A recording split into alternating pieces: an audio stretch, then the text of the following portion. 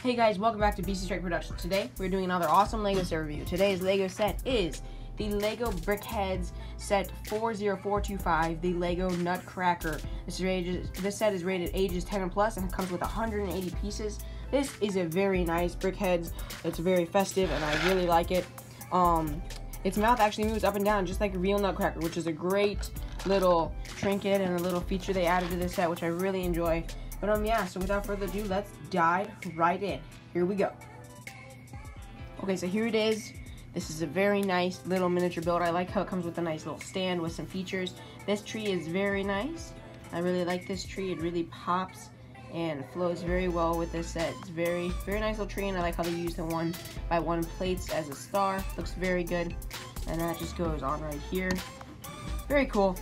Um, on the other side, we just got some miniature presents both out of, you know, just regular bricks. But the main feature of this set is the Nutcracker. So this guy right here is actually very, very cool mini build. Mini build. very cool Brickheadz. I really like the features. The hat is a very nice, um, like car, car roof build. I use the car roof pieces. Flat tiles for some of his skin. Um, oh, oh, dropped. Okay. Um, you know, the normal cool little mustache built out of those type two pieces. I like how they use the actual gold chrome um, like plate pieces as for his uh, shoulder pads and then some nice gold chrome studs. On the top, you can see there's not much happening. Not much happening anywhere, just nice and gray hair. Right here is the best part about it though, is his mouth, oops, sorry about that. His mouth actually moves. Goes up and down, up and down, up and down which is very cool. You move it up and down.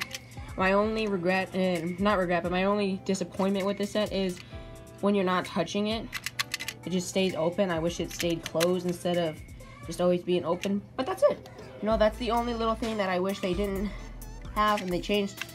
But yeah, guys, that is the Lego Nutcracker, and then obviously goes on just the regular stand. But that looks very cool. It's a very nice Brickheadz. I'm super happy I have it in my collection now. As you can see, he sits very nicely on this. And it's just, it's going to be great for my collection. I'm super glad I got this. Yeah, so if you guys enjoyed the video, don't forget to leave a like and subscribe down below and hit that bell so you don't miss when I post a new video. But for now, guys, I hope you enjoyed the video. Peace out. God bless. I'll see you later.